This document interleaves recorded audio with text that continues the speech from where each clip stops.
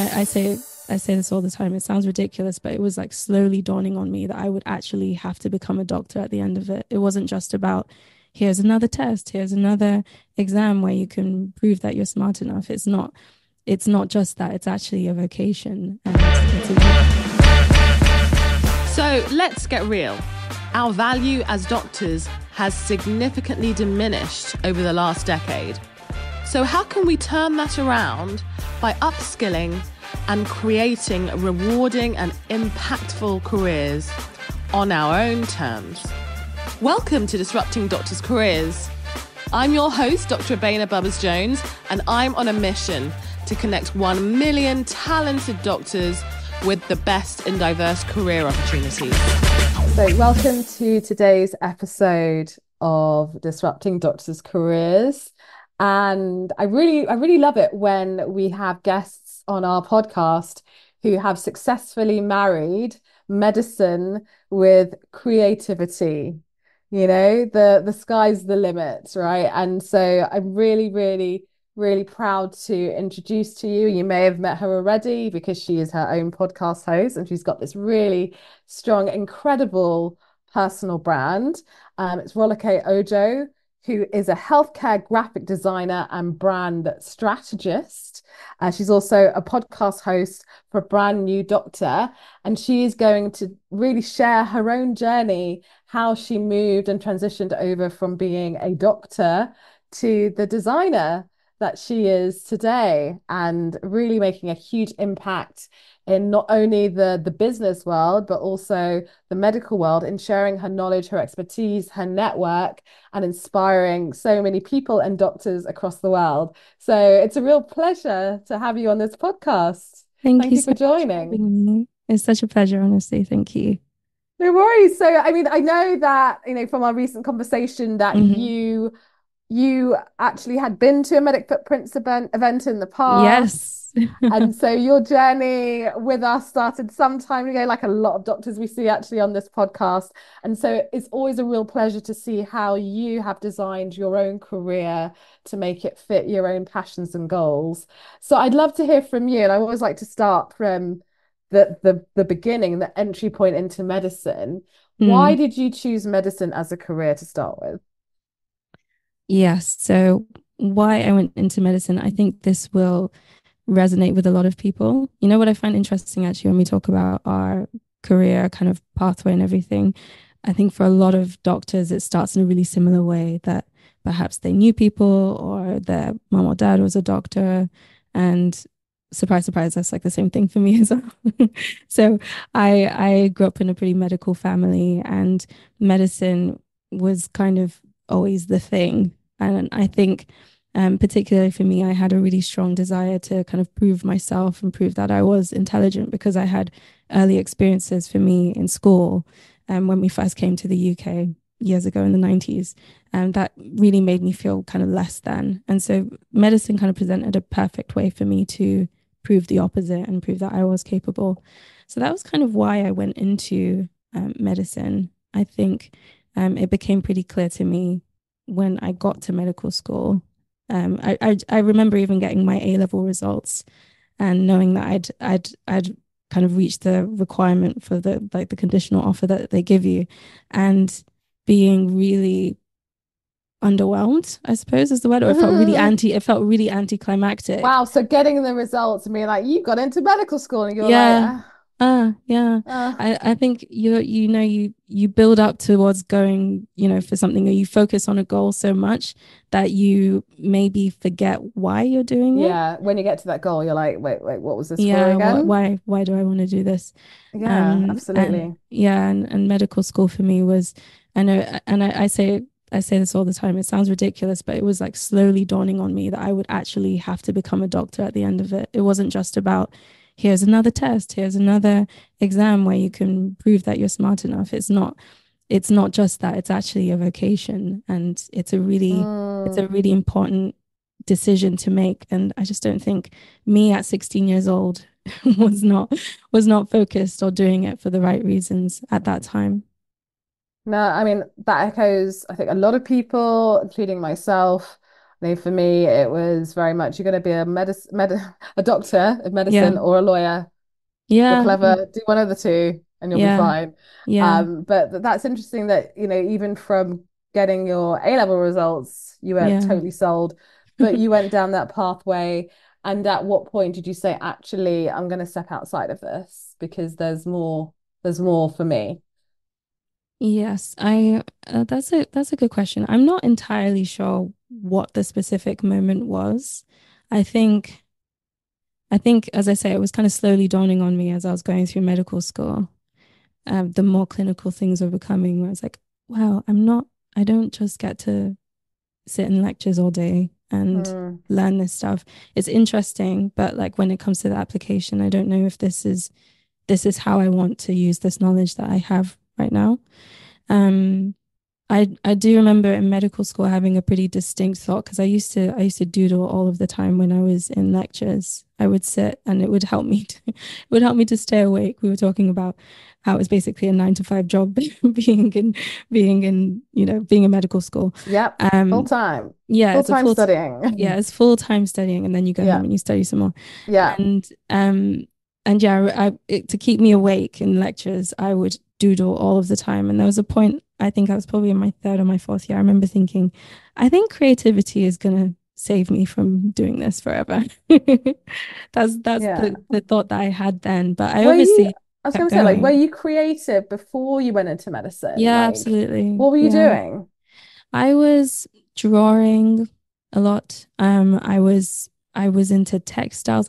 I mean, I yeah, I remember I like used to like designing things that to make like bags and things like that. I would create things. Um, I loved drawing. I loved using oil pastels, um, watercolors. Uh, I was very much into just pattern design in in general. I think in particular, um, you know, I loved um I, I I think when I was like maybe I was 11 or something, I saw henna I saw mehndi designs for the first time ever, and I thought it was incredible. And I used to love drawing those kinds of things. Um, so yeah, just it's it was always a part of my my life, and with my sisters as well. We always loved singing and dancing, all of that kind of Mhm. stuff. And I always thought that was kind of normal for everyone to do at home, to just Mhm, always be mhm. making or doing or singing or something like that. And I realized like maybe not not for everybody, but you know, different people have different ways of expressing their creativity, I suppose. It's interesting because I've got two small children, right? And I see their creativity, like Mm. innate creativity, the ability to fantasize or reenact or even just create something from nothing. Yeah. You know, artwork, all of those things that as as parents, like they always encourage. And then like what's valued in the world of work tends to be quite different. Oh, right? absolutely. in that Yeah. sense. So, you know, I see a, I see a lot of people, especially medics, who have this kind of hidden background of Mm. creativity that unfortunately does get stripped away from them because there's not much place for it in traditional healthcare, right? Outside of entrepreneurship innovation, which is another story in itself. There's not enough emphasis on that in healthcare in a traditional clinical role, but that's another thing. But so it's really incredible that you had this skill set and even I say despite, but you know, even whilst you were going down the medical pathway, it was still calling to you, saying, Yeah. "Hey, do something with me." So I guess my question is like, what actually, at what point did you say, right, I am gonna I'm see whether gonna I can make something work Yeah. from my passion? Yeah, it took it did take me a really long time. You know, I I did stay, I stayed, I finished medical school. I I did my F1, my F2, I did an F3 even. And um it it took me that time to kind of build the courage because I think a big part of um being enmeshed in medicine is just being kind of around similar um thoughts. It's because it becomes a bit of an echo chamber and it's hard for you Mm. to it's hard for you to move outside of that when everybody else is going in the same kind of direction. Um, I think that's just normal with with human nature. And and also just the you know a lot of um the rhetoric out there is oh you know you've already come this far in medical school you should finish you should finish medical school. I did want to finish I did want to have a degree and I, that was I would say that was completely my choice. But um but then it's like okay now you finished you need to you have to stay here and you have to do foundation years or else you'll never be able to practice medicine again if you if you decide you want to come back again so i think i was very fear driven from that point onwards and oh. there was a point um, i remember in foundation in my my f3 year i actually um i applied for gp because i guess it was the only kind of lifestyle not even specialty but just the lifestyle around it that i could possibly see myself in and um and even doing that, I remember, you know, I'd finish F1 and F2. It's like, okay, the, the theory is that you're free now, but then people would be like, oh, but you really should finish something. Yes. Right. That finish something rhetoric. Yeah. That finish I, hear, I, I hear that from my mum all that, you know, thinking back to the past when I was jumping from surgery to urology to mm. occupational medicine. When are you going to finish something? Everyone's finishing things, but you're not yeah. finishing. You're not a finisher as if careers are things that you can finish, finish. anyway. Exactly. Exactly. I just wanted to bring you back actually um to the point where I went to obviously no no no no when you when you're you mentioned the importance of being around especially when you you've got the you're fear driven to stay where you are because it's comfortable because it's mm. the thing mm. that you know it's because of the thing that everyone else around you knows so they're saying don't do it yeah right and and I, am bringing that up in particular because this is one of the biggest challenges mm-hmm. that doctors face beyond their own internal mindset and their own internal narratives people around you are saying hey don't do it because you might yeah. as well just finish this and then you'll be fine. Because a lot of those people haven't had what you're looking for. Yeah. You know, that they, they aren't they aren't in branding. They haven't worked outside of the the healthcare system. And they've been driven by the same fear that you've been driven by. Mm-hmm. And so the mentors around you are saying the net sharing the narrative that you should stick to what you're doing now. And so I, I go back to you on like how did you break free mm-hmm. from those narratives that would have otherwise kept you in that healthcare system. Yeah i think i have to i really have to cast my mind back to what helped me to to make the leap. To be honest with you there was a bit of a leap but i would say it happened in kind of small and incremental steps Mm-hmm. And I th- and I think it I think it is important to highlight that you know I didn't I didn't just wake up one day and say screw this I'm gonna go and like I'm gonna go to design school and become a designer instead. It took me years to to actually take that step.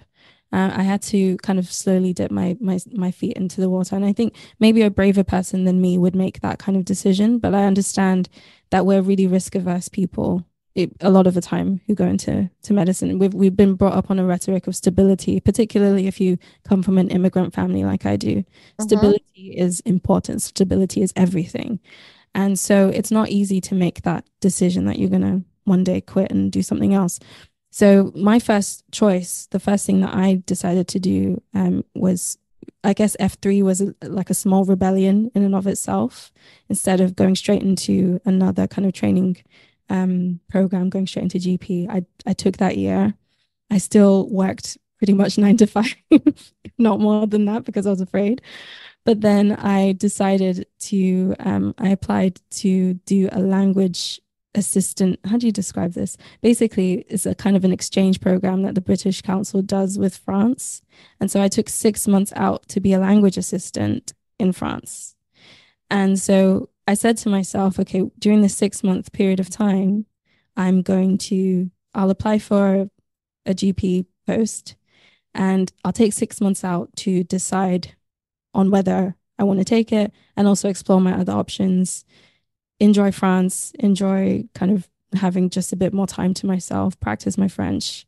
And then at the end of it, I'll make a choice. So I think that was that was kind of my kind of safe way of taking a risk, if you like.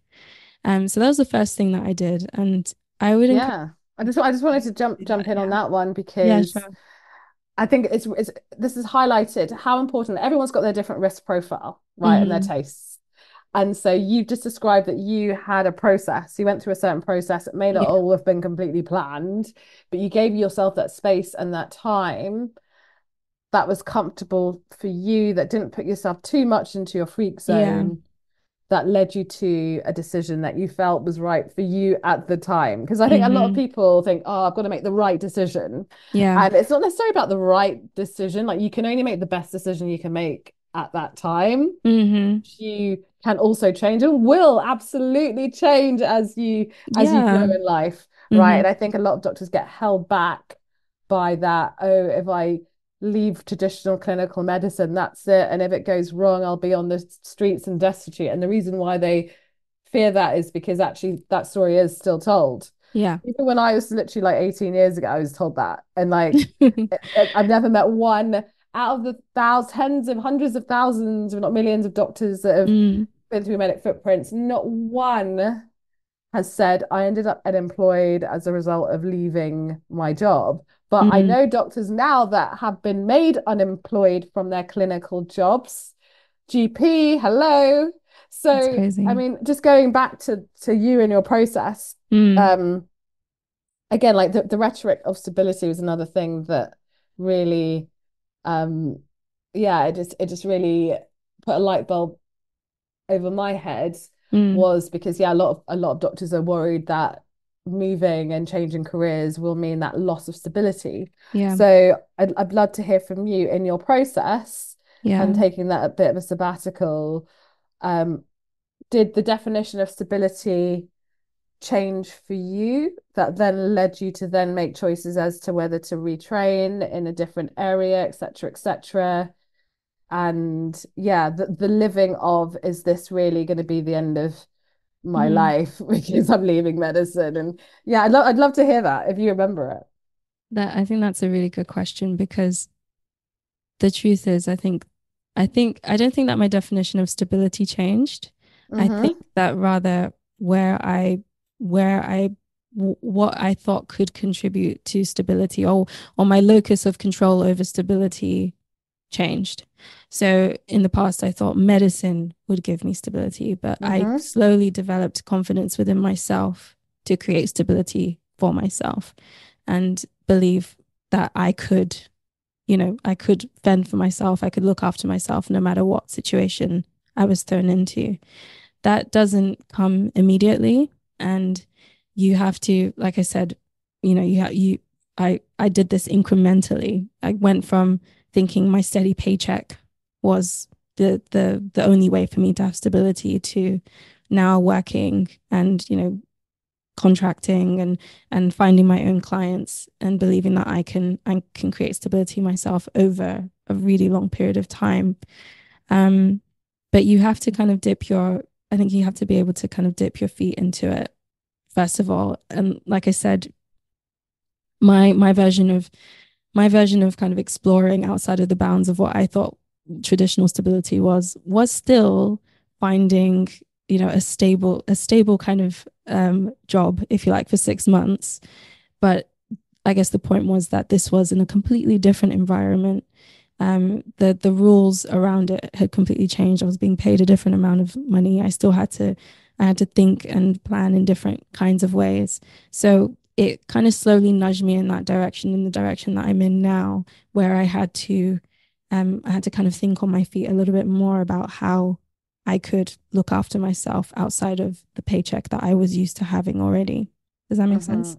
Yeah, no, no, absolutely. And you also proved to yourself that it, it's doable. Yeah, exactly. That's the that's the point is that you you more than anything, this I feel like your your personal journey in your career is it's like a it's like a process of you proving to yourself that you are capable of anything that you set your mind to. Yeah, no, no, absolutely. And I think a lot of doctors are, but it, it's really the mindset, it's the fear, it's all those mm. narratives that are holding a lot of doctors back. And I, I, I would echo everything. It's like whatever you're held back by, just create a program for yourself or a process for yourself. Yeah. That gives you that safety net that you feel like you need mm. to actually go and do it because it's risk mitigation sorry risk mitigation at the end yeah. of the day Um, and you could literally sit down, write it down, saying, if this happens, then I'll do this, or if this happens, then I'll do this. And I'm going to give myself this specific time frame, and I've got these backup plans, plan A, plan B, plan C, whatever it is. Mm. Um, and I do see a lot of doctors that that do that and hardly ever do come back from it. I know like literally a handful of doctors over the years who have come back into clinical medicine, but with joy, not Mm. with, oh, it, it failed narrative. Well, that's what they tell me anyway. Like it, it's because actually they miss clinical medicine and they really enjoyed it and they want to go back and they enjoy it more as a result. And they've benefited from the learnings that they've taken from, you know, the the other sectors they've worked in, which is beneficial to healthcare in itself. Mhm. Um, so it's it's basically win-win experience for a lot of people. Um, but I just wanted to jump forward into yeah, like so so so you studied, right? Yeah. Um, and and then how did you end up working for yourself? Because that itself is Mhm. skill Yeah. So and not exactly the easiest thing in the world to get started. But I would love to I'd love to hear like how did you get on with that process yeah. And and rebranding yourself in that process? Mm, yeah, this so this is yeah, this is this is a work in in progress, let's say. This is um I I I always start by saying that I'm not the finished product at all. Um and I think you kind of have to rejoice in that to be honest with you, because I think it's not a great thing if you ever believe that you are the finished product. And so um so you know where I started from in medicine, um I like I said, I went to France for a time. Um, I came back, I worked as a project manager. Um, just to give you a rundown of other things that I've done until I got to this point.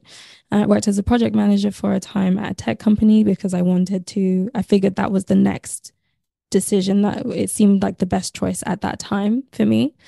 Um, and then moving from there, I decided to work with my sister who owned a dental practice. So I was managing the business side of the the dental practice during that time, and it was that was really where I was able to kind of put together what I'd been learning about myself through the process of trying different things. Because I guess before I tell you about what I'm doing now, it you I think it's important to highlight that I wouldn't be doing what I'm doing now if I hadn't figured out if I hadn't gone through all of these steps and I hadn't been Mhm. paying attention to what I was learning about myself and what I was learning about the world and putting that together to figure out what my purpose was essentially. Mhm. And um, you know, at each one of these stages, I was kind of, as I say, building confidence in myself, um, and just building up a picture of what mattered to me most. And it really became clear to me working with my sister that being creative in my work was really important. Also, autonomy in my work was really, really important. Obviously, she's my sister and she trusted me and um and technically I guess she was my boss, but she gave me a lot of autonomy with the role and trusted me to to be able to carry that out and I flourished in that. Um so putting those two things together and realizing that whenever I wanted to solve a problem, I would try to do that as creatively as I could. And seeing the effect it had on patients, on their experience, and how we were able to differentiate ourselves from other dental practices up and down the road because they weren't thinking in the same kind of way. It really kind of, I, I had a kind of light bulb moment when I realized that design is so, so important. This is always something that I cared about creativity and design, but I saw the proof in the pudding was in the pudding that it was actually a really important thing for patients' experiences and also for how well the business was doing as well. So that's when I decided that I wanted to go to design school. And um, so I, I went to design school. It's probably one of the most difficult things that I've done. and I I guess for me, as I said, because I'd done that kind of work of thinking about my values and what was important to me, I'd been paying attention. I I knew that autonomy was the most kind of important thing for me. Um, it's not to say that I would never consider having a job or working for somebody else again, but uh, I suppose there's a difference when you are carving a path as opposed to like following a path, essentially. Mhm. Mhm. When you decide that you're doing a job, you're even if you are doing a job, you are working in the NHS or whatever, it's it's to fulfill your own purposes rather than to fulfill somebody else's essentially.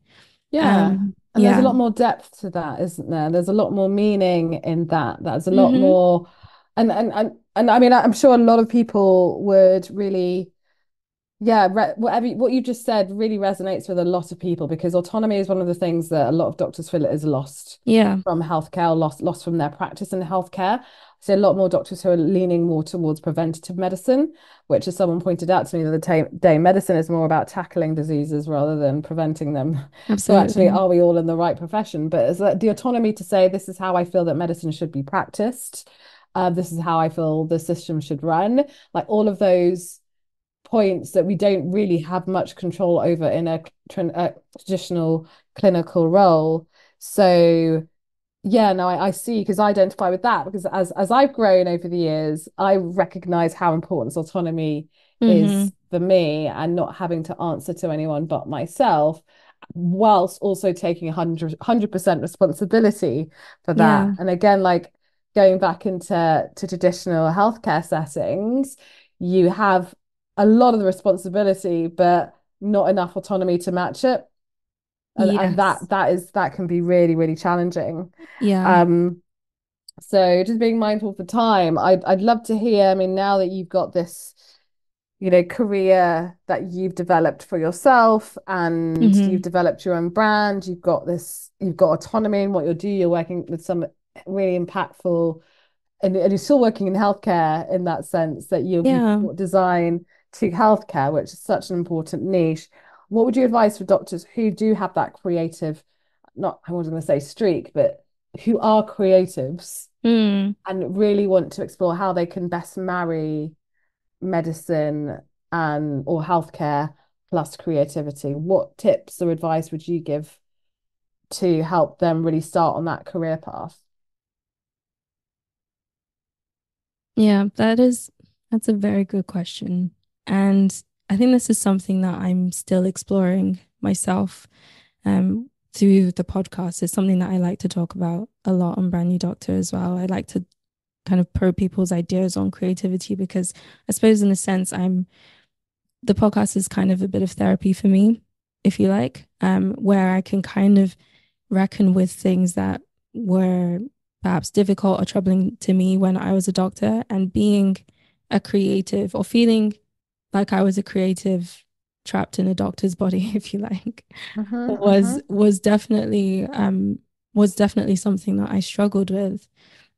The solution that I found was leaving, but I don't think that works. I don't I don't I don't want to prescribe that for everybody. I think um and I, I i really try not to be too prescriptive with things because i think we get enough of that in in medicine but in terms of like advice for exploring your own creativity, I think it's important to first of all look at your creativity like a practice, I would say.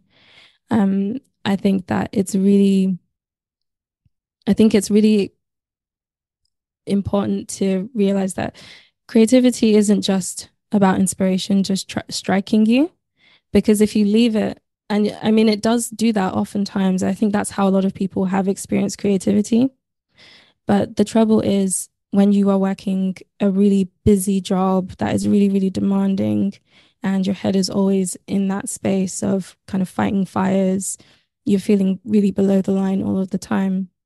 It is really, really hard for you to feel creative in that space. And so you might even start to doubt yourself as a creative, you go into it thinking, I'm creative, I like doing these things. And then, you know, you look at yourself and it's like, I haven't picked up a paintbrush in two years. Am I actually creative? I haven't had a creative thought or or um I haven't, you know, inspiration hasn't struck me in this period of time. And I think that can be um really destabilizing for your identity. And so that's why I say it's important to look at your creativity as a practice where you carve out the time for it and you are consistent with it as well. Um, because you you'll find that actually creativity doesn't just have to be something that strikes you when you feel like it. It can be something that you can nurture and that you can build um, towards yourself. You don't have to depend on the muses or the gods or whatever it is that you think feeds you that that idea, it is something that you can build up in yourself. So I would recommend that for people who consider themselves creative. I would recommend it for people who don't think of themselves as creative in the traditional sense. If there is something that you, uh, a kind of a hobby or some kind of outlet for you that is um, that is hard for you to do because of it's hard for you to find the motivation to do with your difficult job or your your busy time schedule and everything treat it as a practice rather than the thing that you do when you feel like it because then it will really quickly fall to the wayside and then you you wouldn't even believe that it's something that is a part of who you are anymore. Absolutely. It's it as you said it's about carving out that time no matter how small it is. It's small amounts of time consistently. Yeah. And as you said treating it as a practice and and like continually nurturing it like a child yeah really. like it like, like you have to give it that time um but you know similar to you I I wasn't able really to truly reconnect with my creativity until I actually stepped out of yeah you know, the wrong environment and put myself in the right environment mm. but even then you know there's still that actually am I, am I really in touch with my deepest creativity mm. especially running a business where you're kind of more um, dealing with the admin and the numbers and the, the non-creative parts of it yeah of than the creative parts of it. Um, but yeah and, and it's interesting because you know marrying music and creativity is such an important skill set for anyone to have. And for those people that do have a creative background like this is your time mm. because you've heard about the creator economy, right? It's called that for a reason because yeah. there's money to be made um, if you are a creator, especially being a medic, especially being a medic in writing and content in media and SEO. There's there's so much you can do. One of our fellows, GP, mm-hmm. um, he was looking to get into pharma. Very quickly, he realized that you know he, he, his his love was not in pharma. A lot of doctors think, "Oh, do pharma consulting or health tech." One of those three things because yeah. that's what everyone seems to do. But realistically, you know, a lot of people are just saying and doing what what, what is the thing to do, right? What what the herd seems to to do. But the reality is there are so many other things out there. Anyway, we managed to uncover like what are you beyond being a GP? Mm-hmm. How can we help you stand out to who you are? Who were you before you even came into medicine? And he said, Oh, I love music. And then next thing I know, this guy is on LinkedIn on a fairly daily basis, created this whole niche of music health tech that I never knew existed, opened up all these doors in the UK and overseas. And basically he's he's carved out and created this niche for himself as a music health tech advisor and opened up so Amazing. many opportunities and doors doing it like that because he's got the very specific niche mm-hmm. that just didn't hasn't really existed. Yeah. so whenever people come across him, especially being music and or health related, because there is actually a huge industry that's that need his services, then he's like one of the very few, if not only. And they're like, well, we can't go to anyone else, can we? You know, mm-hmm. so it, it's and also like this is from our doctors in industry fellowship it's like you have to go for, through a process of you just described you have to go through a process of your own to get to where you are today. And even that is part of a process to get to where you're going to be the next few years and the next few years. Exactly. Right. And making the mistakes, reflecting, doing it, doing the doing. Because a lot of people will say, oh, I'm going to think about it. And then you end up thinking mm-hmm. about it forever and you just never will know because you haven't done anything. Mm. Like actually doing something. It may not it's be really the important. right thing, but it's something that, that starts you on that path. Mm-hmm. Um, that will get you to where you want to go as long as you have some clarity on where you're going. When I say clarity, you don't need to know the finished article of what it is, but you've got to have at least a sense of what you're looking to leave behind and what you're looking to embrace. Yeah, that is that I feel is enough because a lot of people are like I don't know career, what career I want to do. That doesn't really matter. Yeah, I I I mean I I always say that it's it's important for you to have direction but it's mm-hmm. not as important for you to know the destination. Yeah. Mm-hmm. I think it's really important to make the distinction between those two things because in medicine or medicine will teach you that you need to know where you're going before you you set off mm-hmm. and mm-hmm. that that way of thinking maybe applies to you know real life journeys but when we're talking about our career journeys journeys that go on for much longer in our lives you can't possibly predict the future and you have to really break free of that that way of thinking it's not easy but um but really just staying present with the decision that's in front of you yeah. is the most important thing and just taking the next step that's necessary is all you really have to do 100% well okay thank you so much for your time today yeah. your insights your wisdom your knowledge your journey and everything that you're doing in this space. It's it's incredible. And uh, if if you are going to be looking at well, okay, definitely go and listen to her podcast, Brand New Doctor. How else can people get hold of you? Yes, you can get hold of me through my website, which is rolakeojo.com. Also, you can see more of my design work, my branding work at andmatter.com. And yeah, I'm also on LinkedIn. So I'm I'm I'm wherever you want. you can you can come find me. Brilliant. And and to be fair, you are not the first designer on this podcast. Mm. We hmm. also had a designer actually near to when we started it, who was in interior design. Oh, wow. Um, so it's it's great to see more and more doctors who are getting into design work. Even before that, I knew I knew a doctor who got into car design. You know, it's, it's incredible what's out there. It doesn't yeah. have to be health tech consulting or pharma, guys. There's no, it's true. I think to your point about that, actually, the last thing I'll say is that we have to remember that we all got into medicine because we were told that smart people do medicine mm-hmm. and or they do law or they do engineering, whatever it is. But you know, beyond that choice, and you've gotten to that, you've gotten to this point because of that lie that was told to you that that that's the route you should take. You have to then use that same logic and be like, well, it doesn't make sense that just because I'm smart and I'm a doctor, I should go into one of these three fields. you could end yeah. up in exactly the same position. So exactly. you really have to be true to yourself and, and figure out what's right for you. Be true to yourself. But I should like to, to challenge you on that because I mean, you say it's a lie, but realistically, it's what people were told at that time, isn't yeah, it? It's like think, if you want a stable career, yeah, do one of these professions law medicine accountancy and you'll be set for life i think right? i think the lie is that it's right for everybody who is who's got the grades for it yeah and yeah, it's not right for everyone yeah but i don't think it's an intentional as in no, it's like it's... at the end of the day like our parents people around us they're doing what they think is best. Mm-hmm. just like the people who if, if you're in healthcare and you're looking to leave they're telling you what they genuinely think is best because that's all they know. Yeah. And i think there's a difference that like you know everyone everyone generally especially if you're asking them for advice they do want the best mm-hmm. for you. Most people not everyone but most people. But if their knowledge is limited on what you're asking them you need to go and find people who are doing what you want you need to surround yourself with around yes different kinds of people maybe the word isn't lie but it's a story at least it's and you have to find you have to find other stories that I always say we need you. you need to brainwash yourself. You're already brainwashed into a certain way of thinking that suits your current career situation. So you need to then go and reprogram and brainwash yourself again mm-hmm. to then pursue the career or the lifestyle to achieve that lifestyle that you want. And as Rolake has described, is about surround consistently and continually surrounding yourself with the people that are doing it, not just saying it, they're doing it and they're living it. So you end up speaking like them, talking like them, having the friends they have, having the connections they have.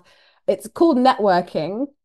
it's called community, and I know it's like oh, not networking, but yeah, it. This is why this is such an important part of your journey.